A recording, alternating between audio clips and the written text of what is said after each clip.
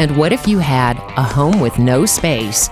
A brother who wants a dog, and a mom who says you're not ready for a pet. That's what happens to Mia in Kitty Corner, Cali.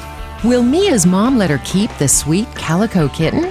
Find out in this new heartwarming book from the author of The Puppy Place. If you like kittens, you'll love Kitty Corner, where kittens get the love they need. Look for it at your Scholastic Book Fair.